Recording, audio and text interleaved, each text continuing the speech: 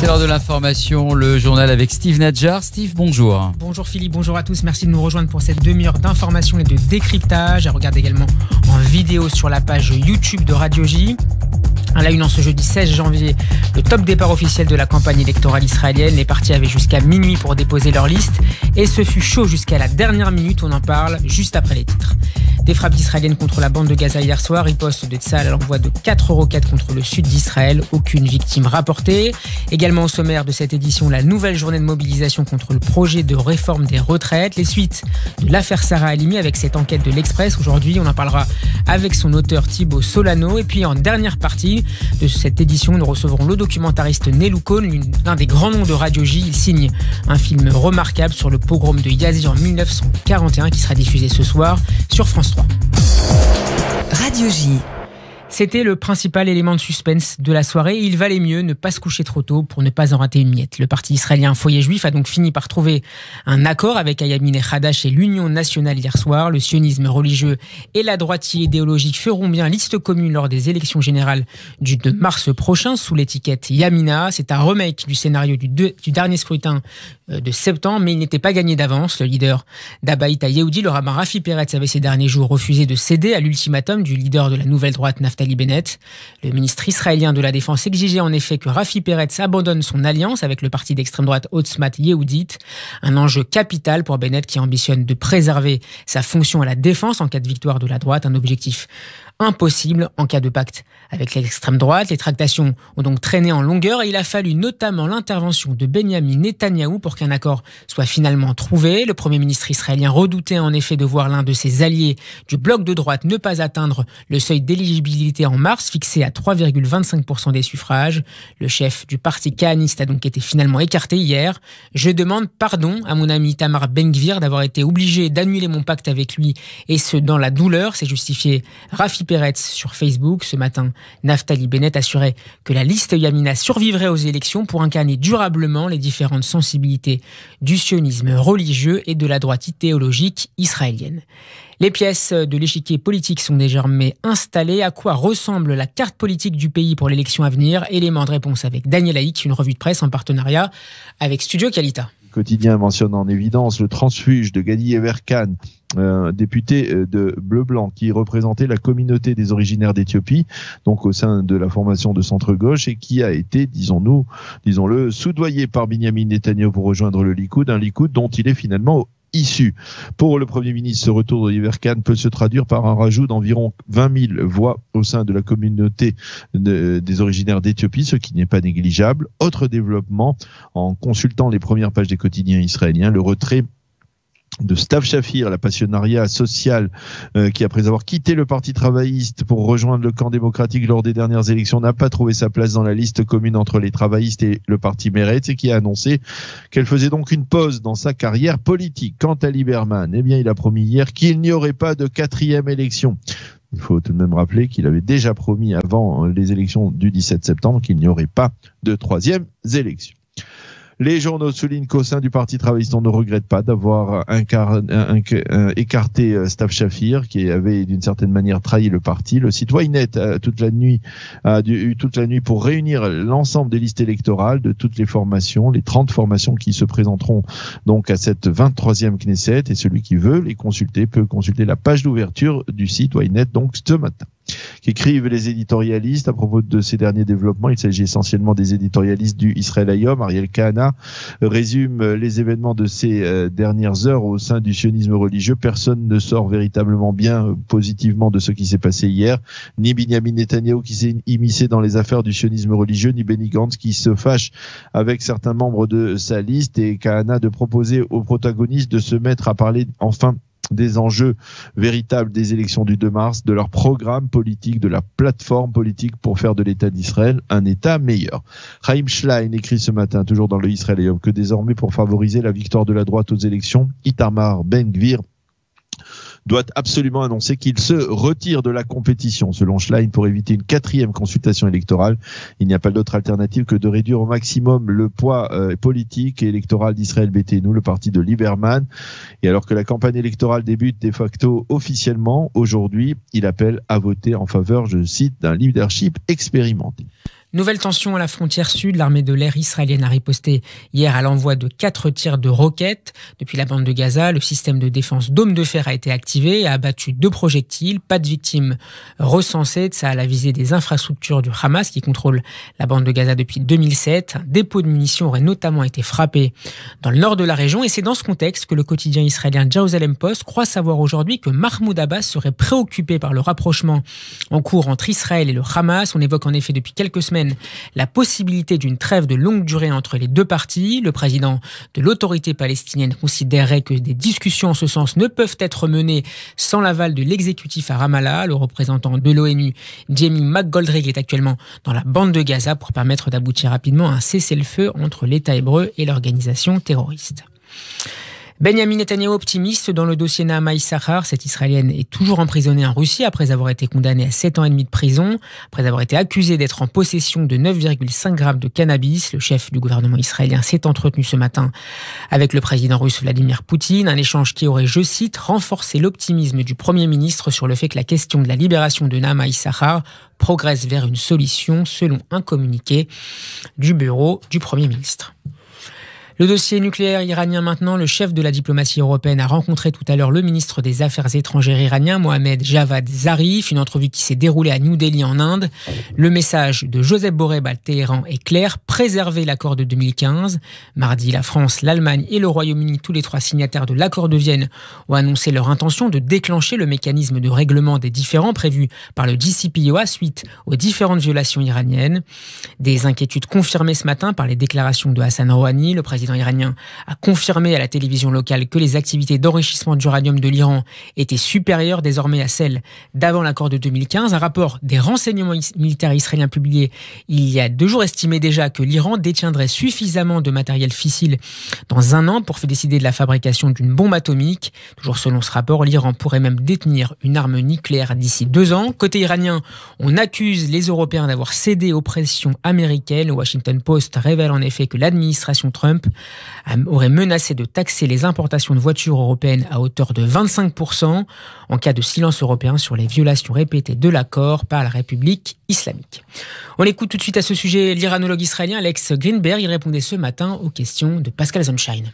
Que ce soit possible, quand même pour le moment, l'Iran ne se détache pas complètement de ses engagements dans le cadre de l'accord nucléaire et ce qu'on nous entendons aujourd'hui, c'est plutôt les menaces iraniennes de, renoncer à l'accord, mais ils, peuvent évidemment euh, commencer ou accélérer l'enrichissement qui est déjà permis, en certain enrichissement est permis dans le cadre de l'accord, mais ce n'est pas toujours euh, l'arme, les armes nucléaires quand même. Le programme nucléaire euh, militaire iranien, s'il existe, surtout pour, euh, pour garantir euh, la survie et l'invulnérabilité du régime, pas pour larguer une bombe atomique sur Israël. Dans ce cas-là, est-ce que l'Iran a plutôt intérêt à essayer de renégocier avec les, avec les grandes puissances une autre forme d'accord?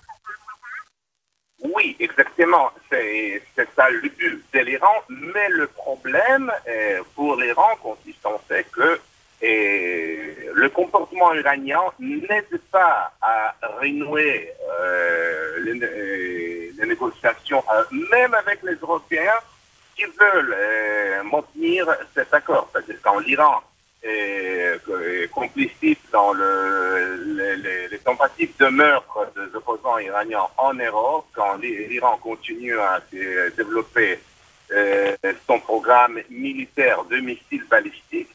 Par exemple, l'existence du programme euh, militaire des missiles, ça preuve l'existence de, de plans nucléaires parce qu'il n'y a pas, il n'existe pas de pays normal qui a de missiles balistiques mais non nucléaires. Bah, missiles balistiques non nucléaires, ça n'existe à longue portée, ça n'existe pas. On marque une page de pub et on se retrouve dans un instant pour la deuxième partie du journal magazine. Au sommaire, une nouvelle enquête de l'Express sur l'affaire Sarah Limi. tout de suite. 14h12, Radio J, la suite du journal Steve Nadjar. La suite de l'actualité internationale et française. Bonjour Gabriel Attal. Bonjour Steve. Les États-Unis ont repris hier leurs opérations communes avec l'Irak. Elles avaient été interrompues suite à l'élimination du général iranien Qassem Soleimani début janvier. Le Pentagone souhaitait reprendre ses opérations militaires pour ne pas que le groupe État islamique ne profite de la situation. On va rester aux États-Unis. La Chambre des représentants a approuvé l'envoi au Sénat de l'acte d'accusation contre Donald Trump. Sept élus démocrates ont été désignés pour servir de procureur au procès. La présidente de la Chambre basse du Congrès, Nancy Pelosi, a déclaré que l'accent est mis sur l'expérience juridique. Plusieurs anciens procureurs, une ancienne responsable de la police et un avocat ont été choisis. Le troisième procès de l'histoire pour un président américain pourrait démarrer dès mardi prochain. On ouvre la page française de ce journal, septième semaine de mobilisation et nouvelle journée de manifestation aujourd'hui à l'appel de l'intersyndicale. C'est la troisième en trois jours et la sixième depuis le 5 décembre dernier. Son ampleur sera particulièrement scrutée par le gouvernement la manifestation a démarré à 13h30 tout à l'heure près de la gare Montparnasse et ralliera la porte d'Italie. Même si la mobilisation baisse au niveau des grévistes à la RATP, le mouvement reste majoritairement soutenu par l'opinion publique. Des actions et défilés sont prévus dans toute la France. Le secrétaire général de la CGT, Philippe Martinez, a appelé tout à l'heure à un élargissement du mouvement. Il faut qu'il y ait, euh, comme euh, c'est le cas, je le dis euh, depuis la semaine dernière, que d'autres professions rentrent dans le mouvement et c'est le cas régulièrement lors des journées plus pointées par l'intersyndicale et dans les journées interprofessionnelles.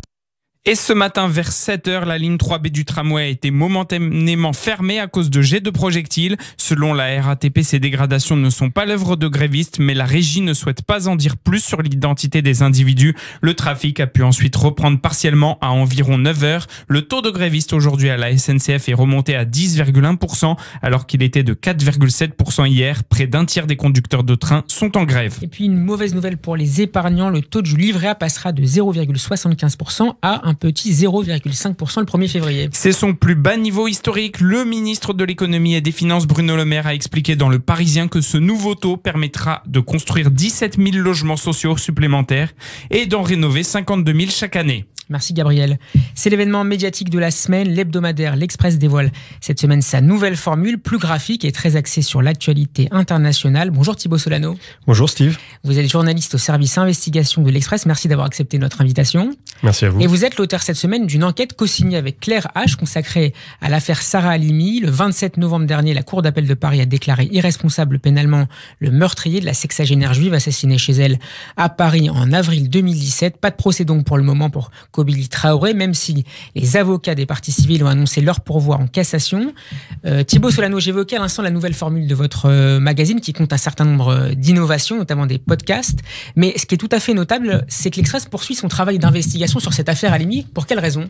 Tout à fait. Alors c'est vrai qu'il y a beaucoup de changements dans cette nouvelle formule, avec notamment plus de place donnée à l'international et à l'économie. Mais ce qui était très important pour nous, c'est de garder la partie consacrée à la France, avec cette ligne éditoriale particulière qui veut qu'on s'intéresse euh, notamment aux fractures de la société française et qu'on continue donc à faire de, l'enquête, notamment sur les affaires euh, criminelles, les affaires judiciaires, qui ont euh, une forte résonance sociétale et qui posent beaucoup de questions, comme c'est le cas pour l'affaire Sarah Limi. Alors vous donnez la parole à Roland Coutenceau, qui a dirigé le troisième groupe d'experts nommé par la juge d'instruction pour établir si Kobili Traoré avait subi une abolition de discernement après sa prise de cannabis dans les heures qui ont précédé l'assassinat de Sarah Halimi. Et ce qu'il vous confie ne va pas forcément dans le sens de ses conclusions à la barre. Est-ce que vous pouvez nous expliquer pourquoi? Oui, tout à fait. Il y a eu donc euh, trois expertises psy du tueur de Sarah Halimi. Une a conclu qu'il était responsable de ses actes et les deux autres non. Et Monsieur Coutenceau a conclu qu'il n'était pas responsable de ses actes. Et pourtant, quand on l'a euh, interrogé pour l'Express, il nous dit que finalement, en substance, euh, on aurait très bien pu conclure à l'inverse de ce qu'il dit. Je vais le citer précisément, c'est un choix d'interprétation subjectif plus qu'une question psychiatrique. C'est presque le choix d'une société humaine. Tout à fait, ça montre bien qu'on est sur une ligne de crête. Le premier expert psy, qui est une sommité, qui est euh, le docteur Zaguri, disait que Kobili Traoré était responsable parce que même si c'est le cannabis qui avait provoqué euh, son fameux euh, accès de, folie, de folie meurtrière, eh bien, euh, comme il avait choisi de prendre du cannabis, il était donc responsable de ses actes. Et euh, les autres experts psy disent que certes, il a choisi de fumer du cannabis, mais il ne pensait pas que euh, ça provoquerait cette bouffée délirante, comme disent les experts psy. Donc c'est ça la ligne de crête, c'est euh, il, il, ne pensait pas, ça tout le monde s'accorde à le dire, qu'il allait être sujet à une bouffée délirante, mais il a quand même euh, pris volontairement du cannabis et c'est ça qui a déclenché notamment euh, la, la, bouffée délirante. Alors il y a certaines interrogations dans ce dossier pour ne pas parler de zone d'ombre. Pourquoi par exemple, selon vous, la juge a-t-elle refusé la reconstitution des faits? Alors elle, ses arguments, c'est de dire d'une part que puisqu'il avait avoué les faits, ça n'aurait rien apporté de plus et euh, qu'en plus, comme il est dans un état mental encore fragile, il y avait un risque. nous, ce que, ce que l'on dit, ce que l'on a appris, c'est que finalement, ce risque n'était pas si élevé d'après euh, l'expert psy euh, Zaguri, euh, qui ne s'était pas opposé à cette reconstitution. Et d'autre part, cette reconstitution aurait peut-être pu euh, répondre aux questions des parties civiles, des avocats euh, de la famille de Sarah Limi, puisqu'il y a beaucoup de questions qui restent en suspens, notamment sur le délai d'intervention de la police. Et il y a quand même des questions aussi sur une éventuelle, une éventuelle préméditation. Et, et ces questions-là restent en suspens. Or, cette reconstitution peut-être aurait pu permettre d'y répondre. Le sang a séché, la famille a déménagé, l'antisémitisme a continué de flamber. Sur décision de la justice, l'assassin ne sera pas jugé, écrit Anne Rosencher dans son éditorial. Est-ce que Thibault Solano, l'affaire Sarah Limi cristallise, selon vous, une forme d'aveuglement qui a pu entourer le traitement médiatique, ou un, certain traitement médiatique et peut-être judiciaire de certains actes antisémites? Alors, évidemment, le cas Sarah Limi, mais peut-être aussi dans le passé l'affaire Ilan Halimi, qui avait été assassinée en 2005 par le gang des barbares. La, la question, euh, effectivement, se pose, puisque euh, à l'époque, à l'époque des faits, certes, on était en pleine élection présidentielle, tous les médias étaient tournés vers l'élection présidentielle, mais euh, c'est vrai qu'il y a eu euh, une lenteur euh, dans le démarrage euh, du traitement médiatique de cette affaire. Donc ça a démarré avec la presse euh, communautaire, notamment Actualité Juive, puis ensuite l'Express et le Figaro à peu près un mois et demi après. Absolument. L'Express à l'époque avait publié une assez longue enquête et après il y a eu un suivi et encore aujourd'hui il y aura un suivi demain aussi puisqu'on va sans doute aller en cours de cassation. Euh, mais effectivement ça pose question et ça fait écho au dossier lui-même, puisque la juge a mis beaucoup de temps à prendre en compte le caractère antisémite du crime, hein, puisque euh, le, le, crime a eu lieu au mois d'avril 2017. C'est un angle mort, cette question de l'antisémitisme je, je, pense que c'est un angle, un angle mort. Elle, elle a, la juge, manifestement, a voulu faire passer avant tout la question de la de la de l'état psychiatrique hein, de cette fameuse bouffée délirante. Or, l'expert le, psy, le docteur Zaguri, a, lui, dans son rapport, dit que c'était certes un acte délirant, mais aussi un acte antisémite. Et pourtant, il a fallu des mois et des mois pour que la justice prenne en compte euh, cette, euh, cette donnée. Thibaut Solano, je vous remercie d'avoir été mon invité cet après-midi. J'invite nos auditeurs à découvrir votre article dans le dernier numéro de l'Express Nouvelle Formule, à lire donc sur papier, mais aussi sur tous les écrans. Bon après-midi et à bientôt Merci. sur notre antenne. On marque une dernière pause et juste après on parlera encore de télévision avec un documentaire exceptionnel ce soir sur François consacré à la Shoah en Roumanie. À tout de suite. Radio J, 14h20 minutes. La suite euh, du journal Steve Nadjar. Sa voix est l'une des signatures historiques de Radio J. Cette voix se distingue par sa tonalité aiguë et chantante, mais surtout par un accent roumain, trace d'une histoire longue où se mêlent les joies familiales et les douleurs enfantées par l'histoire. C'est un document pour l'histoire que nous propose notre invité dans un documentaire magistral diffusé ce soir sur France 3 à 23h20. Bonjour Nelou Cohn. Bonjour Steve. C'est un grand plaisir de vous recevoir sur le plateau du journal Magazine de Radio J. Vous signez avec William Carrel un documentaire intitulé La mort en face, le pogrom d'Yazi. Avant de vous donner la parole, euh, la parole pardon, Nelou, on va écouter un extrait de votre film. À Yassi, en Roumanie, en huit jours, du 28 juin au 6 juillet 1941, près de 15 000 juifs furent assassinés lors d'un pogrom. Les ordres venaient d'en haut et ils ont été appliqués avec enthousiasme par la police, l'armée et la population. Au moment des faits, l'extermination programmée des Juifs d'Europe n'avait pas encore été décidée. À Yassi, il n'y avait ni chambre à gaz, ni four crématoire, mais tout le reste était là. La terreur, les humiliations, les wagons plombés, la famine, les exécutions publiques, la haine. Nelou qu'est-ce qui vous a poussé, qu'est-ce qui vous a donné la force de consacrer un travail à ces jours terribles du début de l'été 1941 euh, je j'étais pas préparé à ça. J'ai euh, eu plusieurs projets avant ça. J'ai fait euh, des livres sur Tel Aviv, sur Tzahal, et chaque fois ça a été des projets je pourrais dire presque joyeux. J'étais dans l'enthousiasme. Et euh, j'ai jamais pensé euh, travailler sur le programme DH, tout simplement parce que je l'avais profondément en moi, euh, à travers ma mère surtout.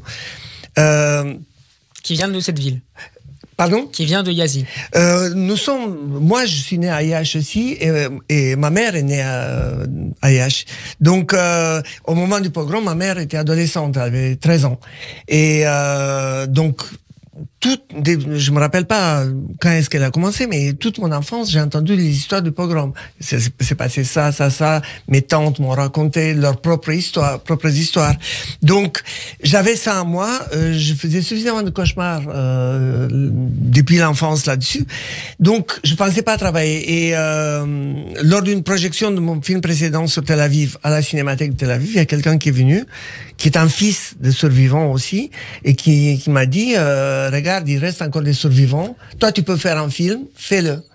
Justement- Et avant d'avoir le projet, pardon, avant- juste avoir le projet du film, de, de l'écrire, euh, ils m'ont dit attention, ils ont 95 ans, donc euh, il faut pas trop attendre. Je les ai d'abord filmés. Nelou, je rappelle, 270 000 juifs romains ont été assassinés entre 1941 et 1944. Vous donnez la parole à quelques-uns des survivants de, ces massacres.